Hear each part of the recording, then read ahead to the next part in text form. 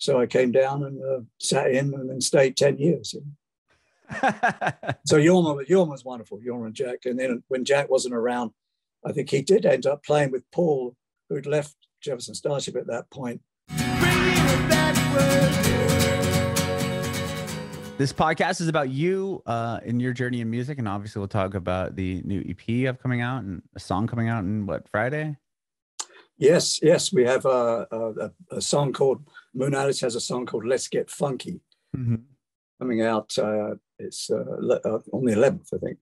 So uh, February 11th, and yeah, uh, yeah and uh, it's sung by Lester Chambers, who who wrote the song way back, back in the late 60s when he, he was with the Chambers Brothers. Really? The original Chambers Brothers. And he's now in Moonalice, right? And okay. His son, Dylan Chambers, is, is also in the band, who's a, a wonderful singer. And uh, Lester wrote the song, but uh, so we, we re recorded it, just like we did uh, Time Has Come Today. We, we, we recorded that, re recorded. Yeah. I was going to say, that's such a great song and it, and he's very soulful cat. You know, he plays great harmonica too, and and uh, so we released that in November, mm-hmm. I think, and um, so yeah, this is this really uh, it feels good to get this. It's it's you know wonderful to play this stuff with the with the, the real soul singer. You know, it's great, and um, uh, and then we we had. Uh, uh, then Woo Woo was our a, a follow-up single, which was released in New Year's around New Year's Eve, I think we released that, and that's sung by the uh, T sisters, who are also in the band. It's three mm-hmm. wonderful sisters, um, Rachel, Erika, and Chloe, and uh, so yeah. And then we're, I think, I think we have a follow-up single coming up pretty soon. Uh, People Get Ready, uh, originally recorded by the great Curtis Mayfield. That uh, Lester was good friends with Curtis, so so that was um, that's a beautiful song, a song that's meant a lot to me over the years too. Mm-hmm. And um, yeah, so anyway, we're uh, we're getting ready to go out on the road finally. You know, again. Yeah, we, I did. We've been doing that. a lot of live, lot of live streaming. We've been doing a mm-hmm. lot of mm-hmm. live streaming, but uh, we're getting ready to go out and uh, work up and down the the west coast. Mm-hmm. Then um, probably around September, we're going to move to some East Coast work. Awesome. Awesome. Yeah. Actually, I'm from California. I'm from San Diego originally, but I spent a handful of years in San Francisco in the Bay Area, oh, yeah. which I know you, you, you know quite well. Uh, but I'm, I moved back to San Diego for a while, and then now I'm in Nashville with my family. So we we love it oh, out yeah. here. But we've like only Nashville. been here less than a year. So yeah, Nashville's nice. I like it down there. Well, um, I want to. I'm I'm curious to know like how you got into music and everything. So can you tell me where where were you born and raised? uh, in uh, Bromley, in the county of Kent, in, in South London, essentially. Okay. England. Um, I was born there a long time ago, uh, in uh, 1948. And um, so just missed the Second World War. Thank oh, wow. Yeah, but, I was about to say, was that was pretty close. I mean, it, it, bombed out buildings. I grew up in emergency war housing, uh, rows and oh. rows of asbestos uh, houses because it was bombed so badly the area. So you know we had that, uh, but so it was everywhere. It was on everybody's minds, and uh, uh, you know, kids would be playing in old build, bombed out buildings and things, and and uh, coming across a shell casing or something from a you know Battle of Britain dogfight wow. or something. But oh, uh, goodness, yeah, because uh, you know David Jones, who became David Bowie, grew up in the same town and um, so you know he talks about this too you know in his he talked about it when he mm-hmm. was alive but um, anyway it was uh, a pretty intense time to grow up but wonderful you know and uh, and then became exposed to music mostly through through uh, you know when my, my parents bought me an old piano which was nice an old upright piano I came home ah. from school one day and there it was glowing in the corner and um, so I took piano lessons, you know, learned basic, just basic reading and got as far as the Fur-Elise and Blue Danube and that sort of thing. And um, then discovered rock and roll and blues and, and uh, sort of went off in that direction. Mm-hmm. Uh, form different bands, school bands, that sort of thing. You know, yeah. Real quick Sorry. on the piano. On the piano, no. Um, yeah. I'm curious. Were you obviously had an interest in the piano? Your parents would yeah. just bought it, or was it something that you? I mean, to come home and have a piano in your house, like, yeah. How how did that conversation start? Were you kind of poking at your parents, like, "Hey, it'd be well, cool if we had like a piano"? uh, that's, a good, that's a good question. Um, I, I would actually been playing at a, uh, hanging out at a friend's house up the road and he had a he had a piano, and I was plonking ah. away. I'd plonk away at it, um, and then uh, I must have mentioned that. Mm-hmm. To, you know, they somehow knew this, so they knew I was primed for it. And so they so got it. It was it was an intense thing. It was literally glowing. You know, it was just that's so cool. Couldn't otherworldly experience, really. You know, and they had this blind piano tuner that would come by and he played so beautifully and, and uh, played classical and uh, i've heard that's a really big career for people that are blind actually yeah yeah, um, yeah probably so i mean yeah uh, i interviewed um it's all about the ear isn't it yeah so. that sam harris is in a band called the x ambassadors and his brother's in the band and he's he's blind and he he's a keyboard player piano player yeah. and that was what he, before the band yeah became successful, yeah. that's what his job. I mean, that's what he went and learned, and and his job was to tune piano Yeah, yeah, yeah. That, that makes sense. Yeah, that's that's that's great. Yeah, no, it's it's uh, um, Stevie Wonder, right? And, and, uh, mm-hmm. all these guys are just beyond amazing, you know. Yeah. But uh, yeah, no, I um, uh, you know, just just plonked around for a while. But I, when I got into the blues, my older brother was was uh, um, into Dave Brubeck, and and then he he put on a Jimmy Reed album, and or single actually, and uh, that kind of blew my mind. You know, mm-hmm. those things, and um, and a friend of my a friend of mine at school, he had a his his older elder sister, his stepsister, was married to this guy that ran a record store in Bromley in South London Ah. And he had all the old folkways recordings. And so I was exposed to Big Bill Broonzy and, and the champion Jack Dupree on the piano. That was amazing. And Otis Spann, those guys. Mm-hmm. And uh, Freddie King, a guitar player, and all those Muddy Waters, all that stuff. John Lee. And, um, and a lot of those guys would come come by, come to London. They like to come over there. Uh, oh, and play like heroes. We're just a bunch of whoa skinny white suburban sort of pimply kids, right? But we we idolized these guys. You know? uh-huh. They came over. They they literally they'd land at the airport and be like the Beatles or something. Wow. Maybe not so much screaming as just but people there to uh, right right really really uh, dig it and and uh, with Miss Sonny Terry, Brownie McGhee, you know, they'd come over and and on the, uh, in the suburbs of London, and I and that's I mean obviously other places as well. That's just mm-hmm. what I relate to. But uh, they had these uh, blues clubs, you know, and you could like you could um, you see a sign actually. I remember seeing a sign in a little alleyway. It said blues club, you know, and you go down and people would sit around playing records. Whoa, that's that's amazing. I wish that was still cool. Yeah, I mean, I, yeah, and so it was it was really intense. Uh, that's a lot of people sort of got there a lot of those um, bands that kept, you know that sort of did our own strange English version, a British version of blues or whatever.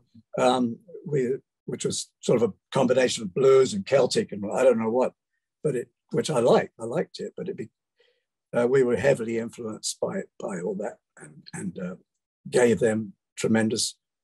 We always gave credit, you know, to try the uh, the origins of that music, you know.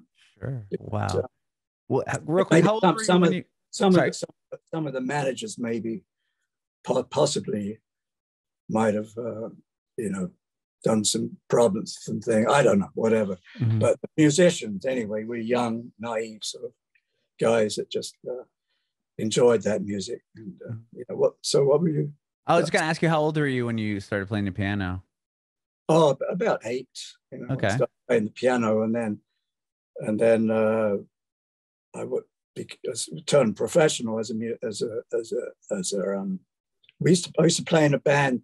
We'd play um, uh, clubs like uh, up in West Wickham and all these, and Biggin Hill, the Hillsides Youth Club, and we'd play these um, towns and uh, I mean, we'd have people like the Konrads. That was David uh, David Jones. Dave David was in that band, and mm-hmm. George Underwood, who became a fine artist. Uh, wow. He, he, played with David Bowie for a while, but he he painted a lot of those early album covers. You know, for the T Rex and Bowie and that's that's amazing. Guys. And uh, he became he's now really you know sought after fine artist, and so he left the music business. But he used to sit in with our band, I remember. Uh, but uh, wow. uh, so anyway, I have a picture. Yeah, anyway, but um, so and then and then one thing led to another. When I was going to London, I was 15 years old. I, I was going to night school. And I was working all day long in London, and then I, I and I met this guy Mick Hutchinson on the train, and we started jamming, and and he was this ridiculously good guitar player. And uh, one day he showed up and with a bunch of guys in a van. I thought I, I didn't know who they were. I thought I was going to get beat up or something, and and it was uh, it turned out to be Mick and and um, and and band called the Sons of Fred, and we turned pro. I joined. They said we need a bass player. I know you play guitar, but you got any interest? I said sure. You know, uh-huh. and uh, then I a different tune. Anyway, and then uh, we, we, so we found out back. We were semi-pro. Then we found a backer, an agent, uh, got a record company, and went pro. You know, and that was it. And that was Whoa. in early '65. And, and, you were what, 15? You said 15, 16 uh, well, years old. I, I, just turned in 16 when we went pro. Yeah, yeah, and um, and uh, when we went played six or seven nights a week all over the British Isles.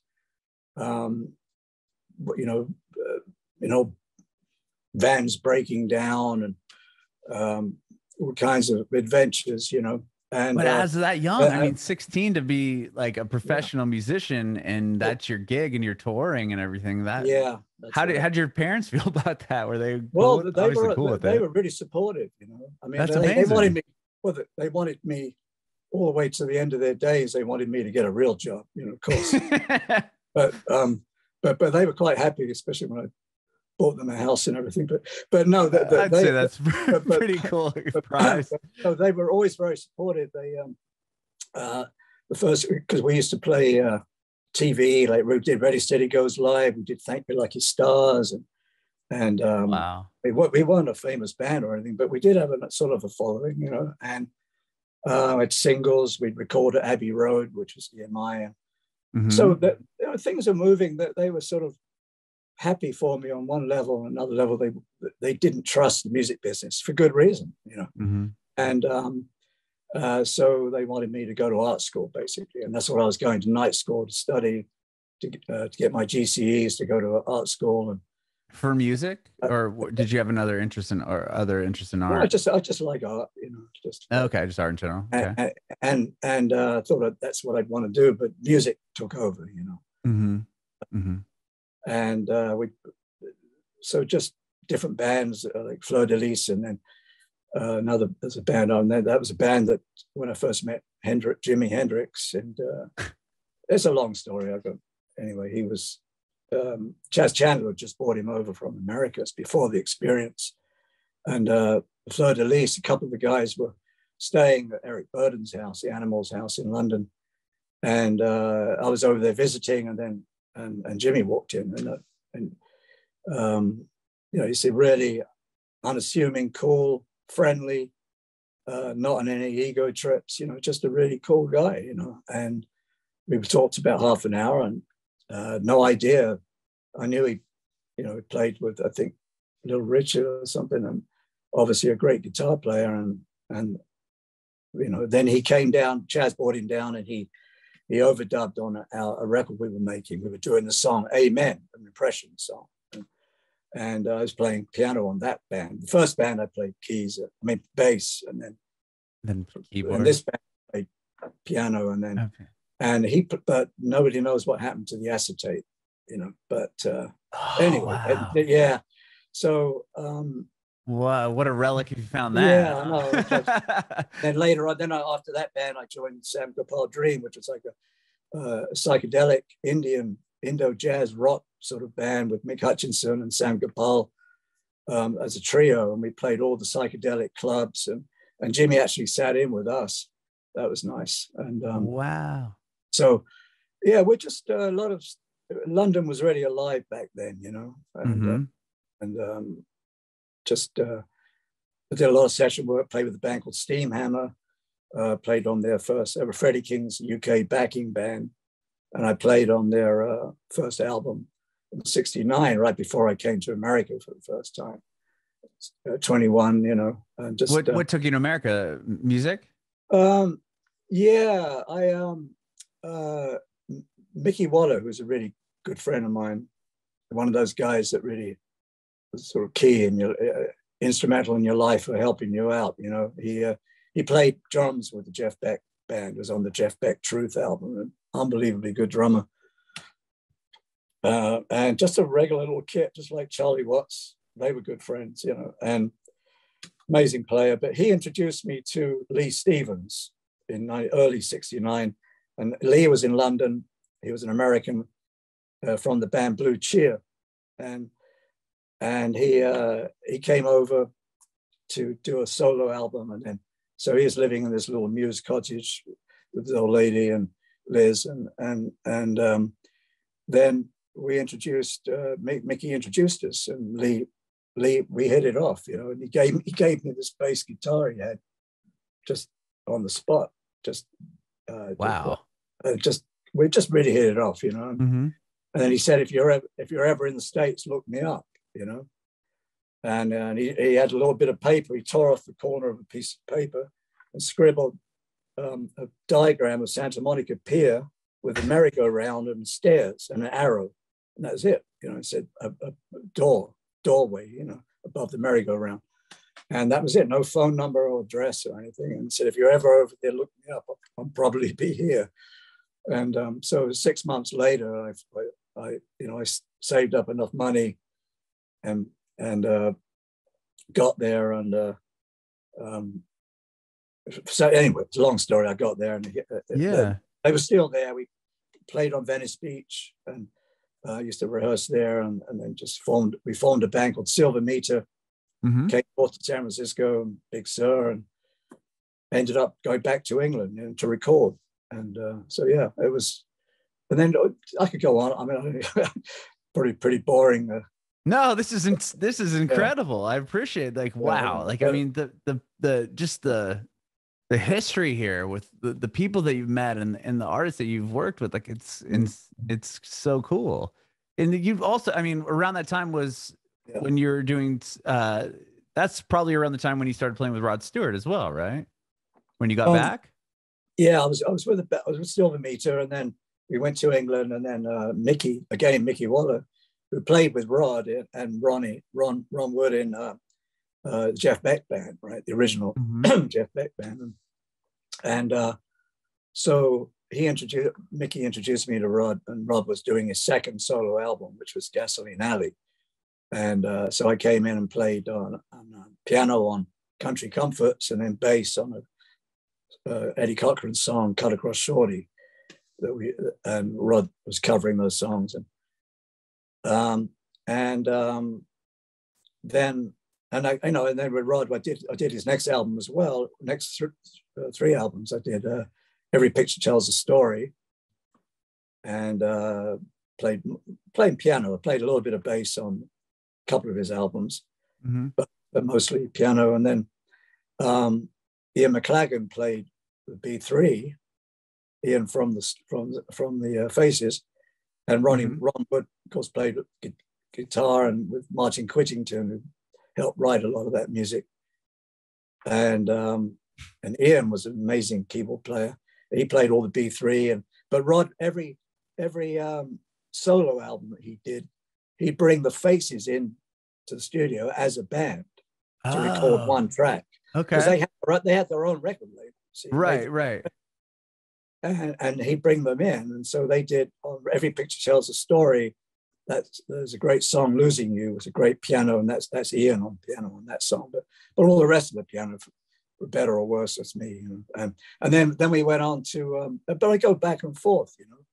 I joined uh, uh, Long John Baldry was on that album, and so he, uh, they, he asked me to play bass with him on his first US, first two US tours, and he was an amazing uh, uh, blues singer. You know, one of the original guys that sort of that part of that early British scene.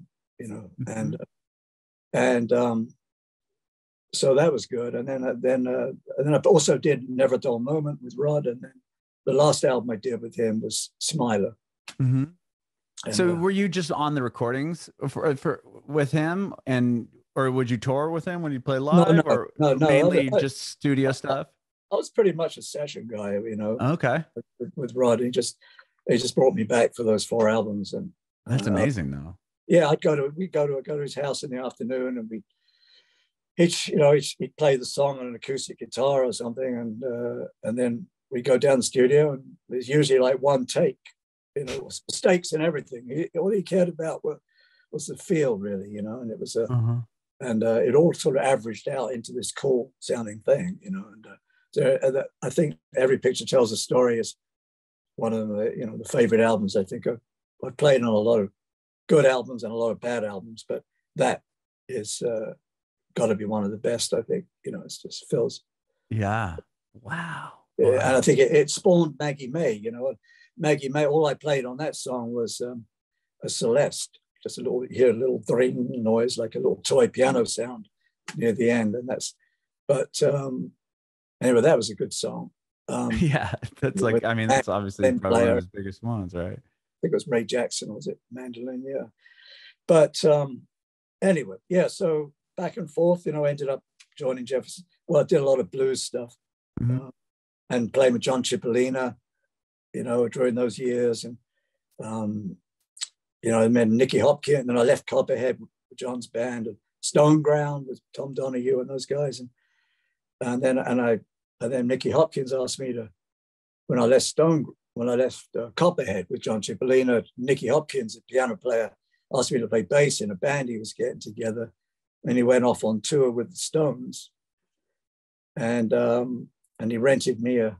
I did that album, Never a Dull Moment, mm-hmm. with Rod, and flew had to fly back really fast to get uh, take possession of the house that Nicky was renting me. And he, so in for San the first Francisco? time, for the, yeah, in okay. Mill Valley, in Marin County. Yeah. For the first time, I had uh, I had a house and some money to. Uh-huh. Uh, so I went and learned to fly, which I'd always wanted to do. So. Oh really? You learned yeah. how to fly a plane?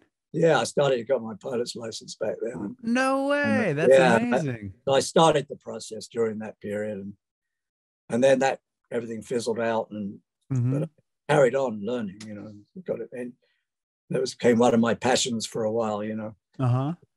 Old bike. I like old things, you know, airplanes. That's so cool. So yeah, I used to do aerobatics aerobatic an old biplane and joined the Tiger Club in Red Hill in England. And uh-huh. Flew, through, flew their old Tiger Moth ACDC. And anyway, uh, yeah, no, I, I um, um, wow anyway, so then, no. Then carried on a bunch of different, then Jefferson Starship. Well, you, you know. played in Jefferson Starship for a while, and then what became Starship, right? Yeah, yeah. I don't like to think about that much, but uh, but but it helps. I'm sorry. no, I'm joking. I'm joking. Okay. No, it's all, it's all good. You know. um, no, the Jefferson Starship uh, was almost an unrecognizable band from in when I started it. I started with the band in 1974, uh-huh. And we did our first album as a band, which was uh, Dragonfly. Mm-hmm. Um, it became a sort of unrecognizable band to what became Starship, you know, suddenly in 1980, when Paul left in 84, 85. But, but Starship was uh, very well produced, very, very good playing. Um, uh, you know, it's, it's uh, good stuff, you know, but uh, it just wasn't my cup of tea, as they say. You know, mm-hmm. but, but mm-hmm. I left in '87. So.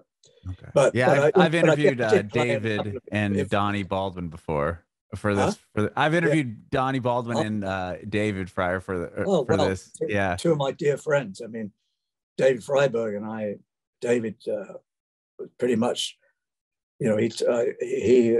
I was playing in, um, you know, when I played with John Cipollina. David was in Quicksilver with John, you know, mm-hmm. and um, Messenger Service. And so uh, I got to know David, and then uh, I was co-producing an album for Kathi McDonald called Insane Asylum in, in San Francisco in 1973, early three. And, and then Grace was upstairs, Grace Slick was upstairs doing, um, recording a solo album called Manhole. And okay. David was there, you know, with Paul Kantner. And the David invited me up and I ended up playing on the album. So they are, that's when the, the idea of Jefferson Starship came about. But really? Paul had, yeah, he had done an album called Blows Against the Empire, which is a solo album mm-hmm. back in 1970. And he'd mentioned Jefferson Starship in little letters. The, I, the idea had come to him, you know, and so it be, and he, he wanted, and he told me he was going to try and get a band together called Jefferson Starship and uh, asked me to play. And then I went back to England to play with Rod and Smiler, then came back and joined them in 74. They started out with Peter Kaukonen on bass, touring with them Mm-hmm. But then their first um, Jefferson Starship as a band recording was Dragonfly, and that's when I joined, and then went off. Then I was with them for ten years, and then that sort of went through all these changes, and then with a big riot in in um, Lorelei in Germany, and and um, yeah, it was it was. Um, oh wow, I didn't hear that one. Oh god, yeah, they purple their equipment, threw it over in the. Uh, Grace was oh, it's a long story.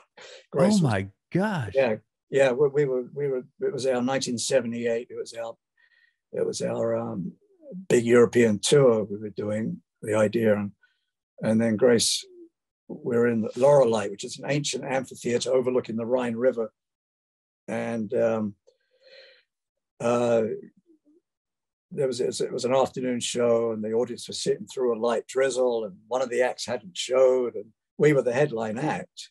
Mm-hmm. And so by the time it was due for us to play. They were already pretty upset, and um, the uh, I was going in the second car because I had my wife Jeanette and my son Dylan, who was only one year old, at the hotel in Wiesbaden. And um, so I came down to go to go in the second car with uh, Paul and Grace and, and Marty Balin and the manager. Mm-hmm. And I got these long faces, and everybody was. And Grace was in a room, locked in a room, wouldn't come out. She was sick, and God knows what else. And um, but usually that didn't stop us, you know. But but Paul said, "No way, you know, we can't go on without Grace." And and so they, um, so we we we, we instructed the um, uh, uh, road manager and David Freiberg, who was at the site, to um, uh, go out with the manager, when we with the promoter, and tell the audience they could have their money back, and we'd come back and play, oh, you know, for free. You know, we, we and he left that bit out, uh, the, the, having them given their money back. He left that because oh. it was in German, and we didn't know what he was saying. Apparently. Right. And so the crowd went nuts. They started. They they honestly thought we weren't there. You know, they they thought that the, the, the German promoter they were writing against him. Oh, they thought he just like put on yeah. this whole facade and then I took mean, their well, money. On the like a hand, Fyre Fest. Yeah, all our equipment was there, ready to go. I had guitars. I lost all my guitars and oh. B3, my piano, all that stuff gone. That's and, uh, oh and then somebody got some gasoline, set fire to the stage. Somebody started chopping up the drums with an axe. Um, our roadies were falling, you know, like wounds to their head. Oh. Uh, the whole thing was just and then somebody fired at the stage, and it, people were throwing stuff over the cliffs into the river, and uh, it was wow. a pretty intense thing. I mean, uh, we were at the hotel, right? But um, yeah, but still, and, I mean, oh my god! But, but, the next day, I went out. There was like a bomb had gone off, you know. So anyway, Marty, we we went on to play Knebworth in England, and uh, on the bill with Genesis, and mm-hmm. um, and then they uh, um, and Marty you know, Grace flew back to the States instead of playing there. She flew back to go into rehab and and um, and then we uh, we did Knebworth without Grace on borrowed equipment, and um, just uh, Marty uh, Marty uh, was going to carry on, you know, but we mm-hmm. got back to States and he decided he had enough, and that was that. And so we, we the band really took on a whole new sound after that mm-hmm. uh, beginning of 1980, 79. It, it, it new singers, new, um, well, Grace went away for one album and came back. Mm-hmm. So it was, she came back and um, different record producer, uh, still a good band, but just different, you know. Mm-hmm. And then it, but uh, so the beginning of the 80s was a, definitely still a rock and roll band. And um, and I when when Grace left, I used to write songs with her, you know, like Hyperdrive was on the first album and things like that. But anyway, but I uh, so my wife Jeanette and I uh, wrote songs together too. We always had, and, and um, so I started writing like songs like Stranger, uh, Save Your Love, and uh, oh, wow. Winds of Change. Some of those songs that, uh, but then uh, then new we got a new record producer came in and and he really wanted to take the band along with our vocalist Mickey, new new vocalist in a in a in a new direction, more commercial direction, you know, which I understand. And um, they uh, wrote Peter, uh, the producer wrote this song, a couple of some of our hits, you know, and uh, and so we band gradually went in this more commercial direction. Ended up in in the uh, the last album I did, which was Knee Deep in the Hoopla, mm-hmm. with Built the City on Rock and Roll, and right, going to stop us now, uh, which uh, you know, and which so I wasn't happy at that point, and um, well, but, what a change in direction! I would, you know, from what you yeah. guys were doing in Jefferson Starship to We Built This City. well, this is it. You know, it was a, a massive change. You know, but but it was well crafted. You know, I mean, we, mm-hmm. those. I mean, that's that song was pretty much crafted on the on a synclavier. You know, I mean, anyway, so. Well, it's a. I mean, it's still. It's everyone knows the song, right? I mean, it's such yeah, a timeless hit. That's that, true. What's is it? Yeah, it, it is. It's it's a it's a it looms its head every now and again. yeah. Um, humorous humorous way. It doesn't uh, matter. You hear that song anywhere, and you're like, "Oh, that, I know this one." yeah, that, and that's fine with me. You know, it's just part of a long career. You know, and, uh, right? Exactly. Should be happy to have been a part of it. You know, so, so I'm. Anyway, then after that, went on to all kinds of stuff. You know, uh-huh. hot tuna you did for a while. well, I, I, plunged. Well, first I plunged back into the blues with Nick Gravenites, oh. uh, born in Chicago, and uh, we, you know, we played Earth Day in 1990 at the um, uh, Crissy Field there, and that was a big, that was fun, and just I loved playing with Nick. He's a, a great talent, and he wrote uh, for Janis Joplin as well, and uh, back in the day. And um, anyway, Nick, um, uh, Electric Flag, and all those guys.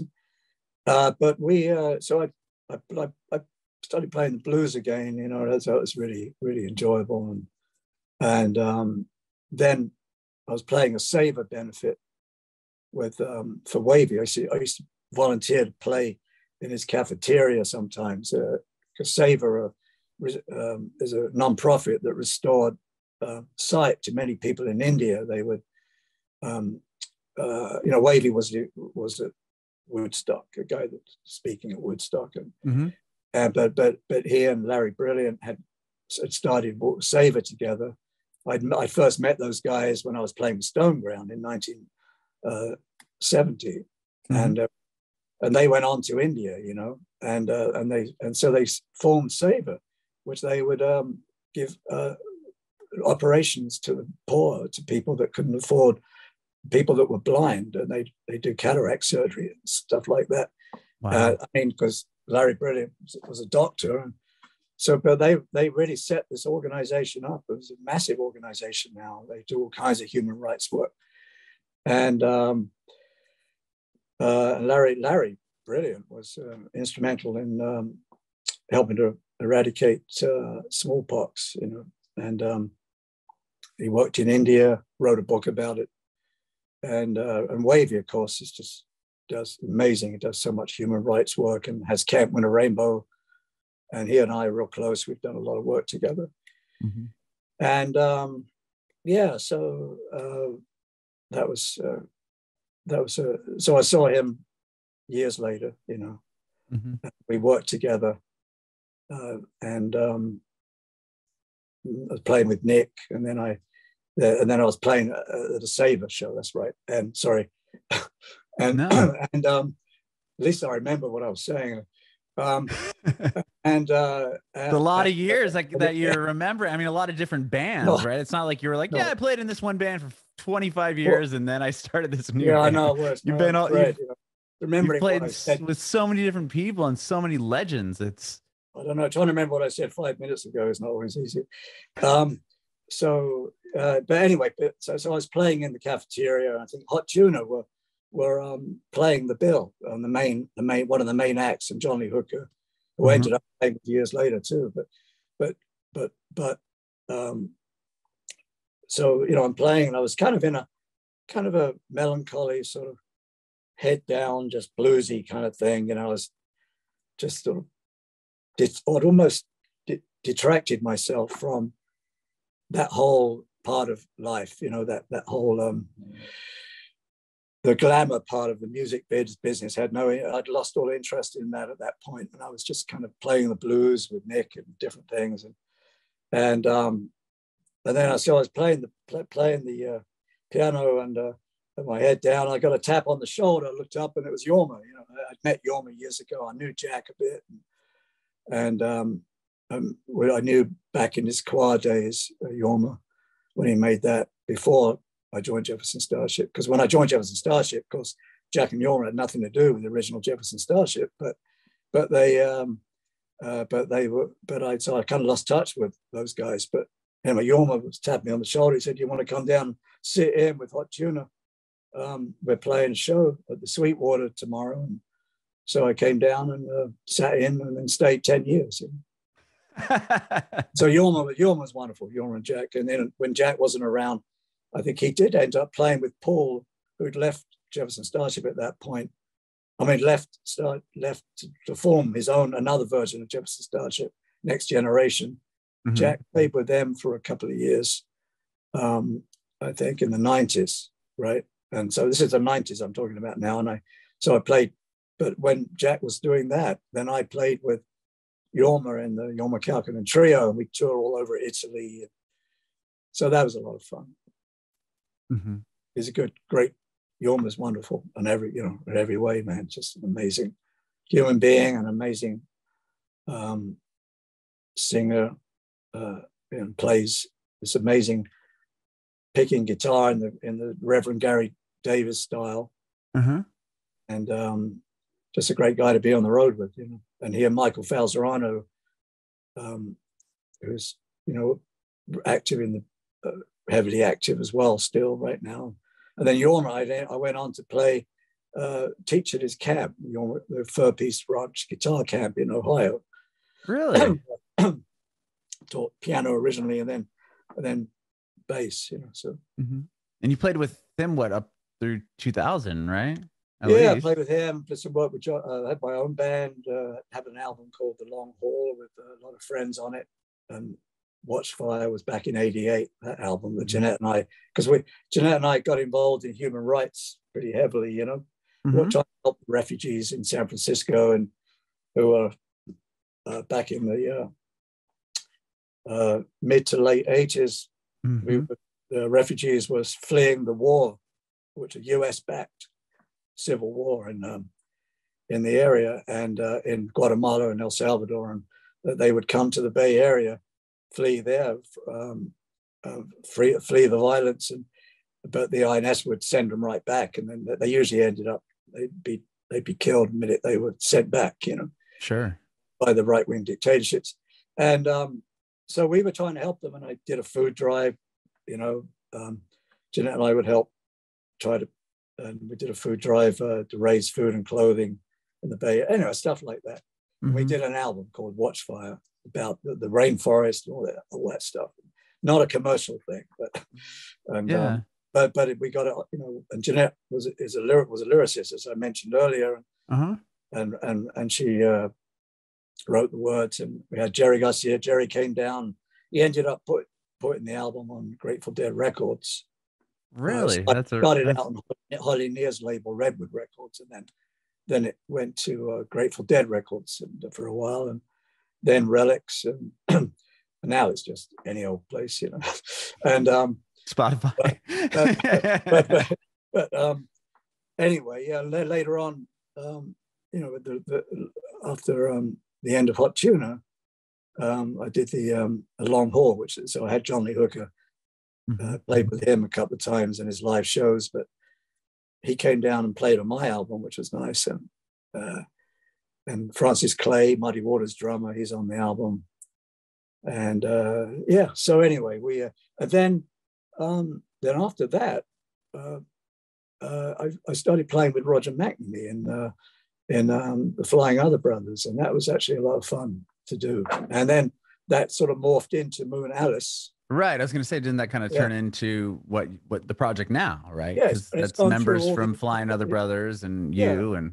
That's right. It's gone through all these different versions, different variations, you know, and uh, where G. Smith and Jack was in the band for a while. Jack Cassidy was in the band for a while, and I played keys, and then, and then uh, just just gradually kind of moved around, and and um, Roger played them and wrote and sang, and and we had uh, Jimmy Sanchez on drums originally, and Barry Sless uh, is still playing guitar, he's the guitarist, and um, then John Molo joined the band uh, on drums when he wasn't out with Phil Lesh in, in you know playing and the, and, the, and um, with the Phil and Friends shows, and John uh, uh, joined us, and, and he's been with us ever since. And then, but then, um, you know, we did a lot of work and it was fun. But then when Lester and Dylan Chambers joined, and then the T Sisters, three amazing singers, all great singers in their own right, all three of them. And all of a sudden, I said, "Whoa, oh yes, okay, great." You know, it was just great to have to have them fronting the band and singing and because we musically, you know, I mean, Barry's an amazing guitarist and John's a great drummer, and Jason Crosby on uh, keys. Jason is, just plays keys and and uh, fiddle. Um, you know, he's out. I think he's out with Jackson Browne right now. I mean, he's just an amazing musician, and so we really enjoyed playing with Lester because we get to play those old soul tunes. Mm-hmm. And Dylan uh, and the T Sisters, who I mean, just uh, we'd get to play all that stuff, just with the real deal, you know. And yeah, nice. You've been, yeah, you've been able to kind of keep uh, building yeah. on to the band. It sounds like. Yeah, yeah, well, yeah, exactly. And the, and the T Sisters, uh, uh, they have their own their songs they've introduced, and and we've uh, and they all sing individually as well as harmonies. And, and um, like Woo Woo, as I say, which was a late, it was a single we released in in um, around New Year's Eve. Mm-hmm. all these all these uh, singles are available in the streaming world, right? which I don't know much about. Right. Oh, I was going to ask because like on your on Spotify, you guys have a bunch of of EPs that like Dave's Way, volumes one through eight. Yeah. Tell me about uh, that. Yeah, that's right. There's, we got a lot of lot of stuff. We got um, a lot of Dave Way albums before Lester and, and the T Sisters joined too. okay. Know, the old older Moon, Moonalice songs, and, and they're available, um, I think, through moonalice.com. You know, all those. Uh-huh. But um, uh, but you know, we sort of, I, I sort of, I personally, I can't speak for anybody else in the band.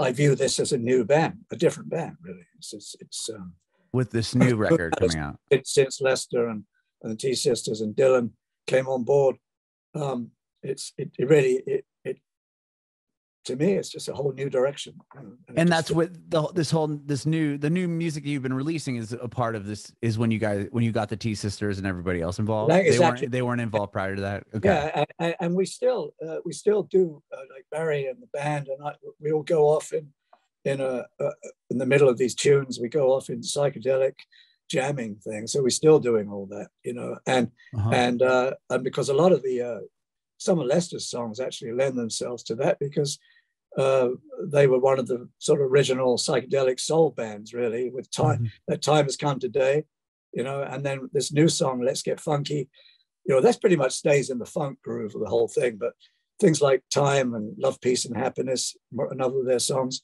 that we do. Um, in the middle, it goes into freeform sections, uh, psychedelic, and it always did when the Chambers Brothers recorded mm-hmm. them. They always had that psychedelic time, moment uh, where they would go into that improvisational. Um, so they played a soul band, but they just went into the psychedelic thing too. And so we, it was like perfect for us because, you know, we already did a lot of this psychedelic um, improvisational stuff. So mm-hmm. it gives us a medium to, to go there as well, you know. Sure. Yeah, because even Time Has Come Today, the Chamber Brothers version is like seven minutes, isn't it? It's like a really long song.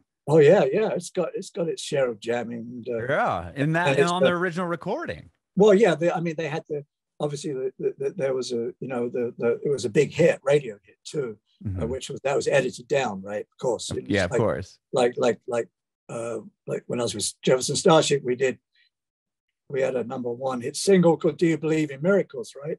Uh-huh. I played bass and piano on that song, but but that was originally like seven or eight minutes long, maybe longer, the album version. But the but the single was just three three right, and a half right. minutes because you had to do that for radio. Mm-hmm.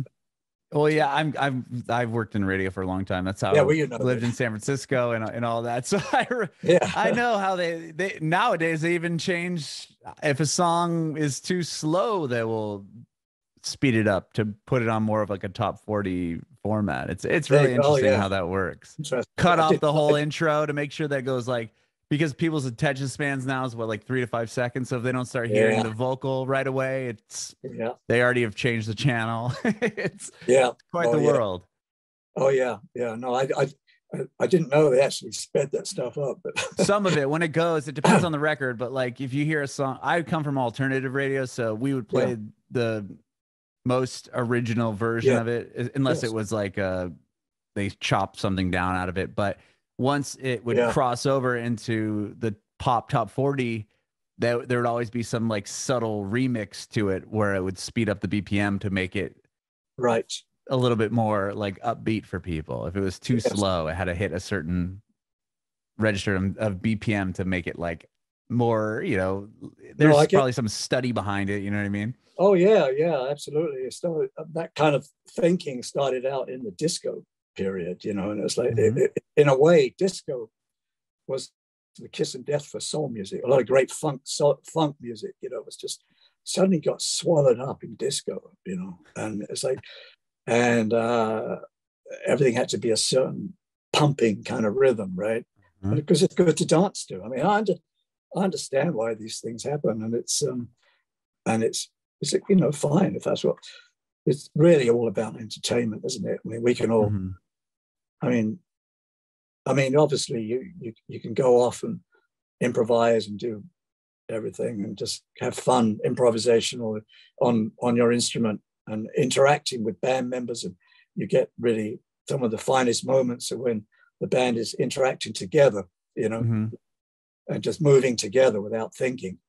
You know that's that's the best time but you know, but there are times when uh, you you realize that wait a minute, this is entertainment, isn't it? It's supposed to be right, it's right. Us, it's about well, there's an audience out there, you know? and the best times are when the, the best times are when the audience is feeding the band and the band is feeding the audience. It's cyclical, really. You know? Yeah, they're the moments when the roof the roof lifts off. You know. Mm-hmm and you'll have that experience again here soon enough, right? I get you get to get on back on the road. That's exciting. Yeah, uh, that's it. I hope so. And, uh, so uh, you know, doing those, doing going up and down the west coast. You know, and, um, uh, we're playing uh, Felton coming up in a in a week or two here, and mm-hmm. down in Cruz, and then we're playing um, the Sweetwater. You know, and uh, in Mill Valley coming mm-hmm. right up, and then we're going to be moving to uh, going to be I think probably around April, you know, around that period. We have, we have a, a, a single uh, around 420,